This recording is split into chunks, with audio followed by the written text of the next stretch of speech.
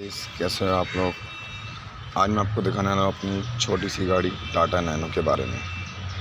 ये गाड़ी आपने देखी होगी नॉर्मली टाटा नैनो 2010 जैसी आती है नॉर्मली लेकिन ये थोड़ी डिफरेंट है। ये देखिए गाइस अब 2010 से इसको मैंने 2016 में कन्वर्ट किया हुआ है। जैसे कि आप लोगों को पता होगा 2010 में जो गाड़ी आती है, उसके यहाँ पे वो ऑरेंज होती है लाइट और ये 2016 वाली जो नई आई थी शेप में उसकी वाली लाइट है। ठीक है? और वैसे ही देखिए आप नीचे बम्पर स्माइली वाला। हम्म, तो ये बम्पर भी चेंज है।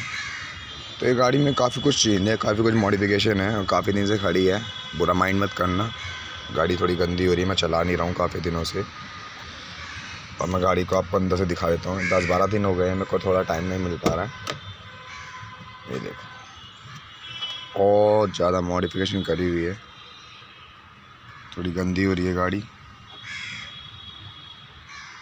जैसे ही मैं आपको बताता हूँ, इसके अंदर मैंने ये स्मोक टेप करा रखी है लाइट्स पे। और भी बहुत कुछ है। जैसे कि आपको ये लाइट है, इसके अंदर एक नीचे एक लाइट है, ये फोक लैम्प ये बहुत ही स्पेशल फोक लैम्प है। इसके अंदर क्या है कि मतलब नॉर्मल फॉग लैम्प तो जलता ही जलता है, इसके अंदर फ्लैशर भी है और जो काफ़ी बेटर चीज़ है।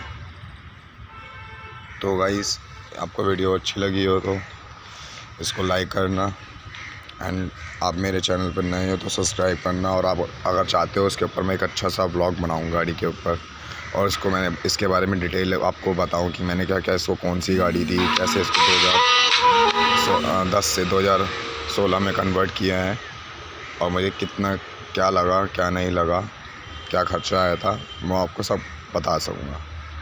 तो प्लीज़